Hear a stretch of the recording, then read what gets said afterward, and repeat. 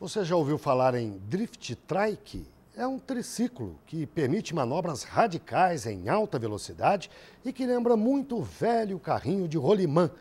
Em Jandaia do Sul, no Paraná, o esporte virou febre. É o que mostra o outro olhar de hoje. A produção é de Claudinei Kogo.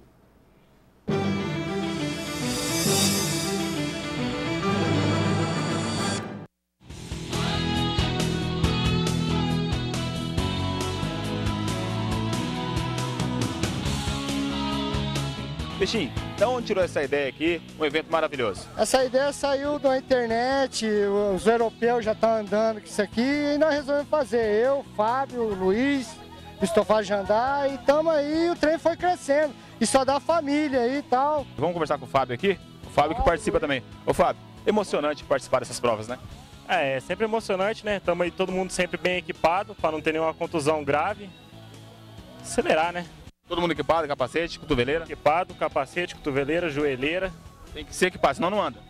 Senão não anda. Nós temos quase 7, 8 carrinhos só com criança. Respeitamos, as crianças desce primeiro, tudo com a, com a segurança necessária. Capacete, cotoveleira, sem isso a gente não, a gente não anda.